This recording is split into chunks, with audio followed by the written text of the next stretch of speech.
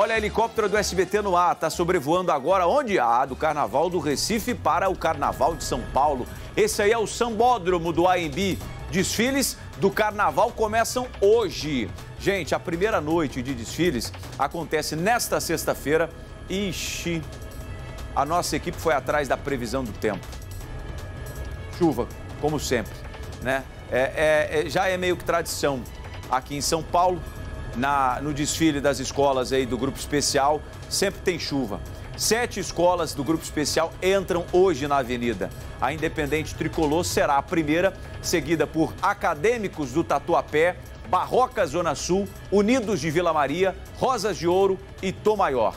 A última escola a entrar na avenida será a Gaviões da Fiel, que promete bastante emoção já no amanhecer do dia. Né? Começa na sexta-noite e só termina no sábado de manhã. Claro que as equipes do SBT, SBT News, vão estar presentes para poder mostrar essa folia com transmissão ao vivo pela internet e também todos os bastidores. Né? A reportagem completa você acompanha nos nossos telejornais.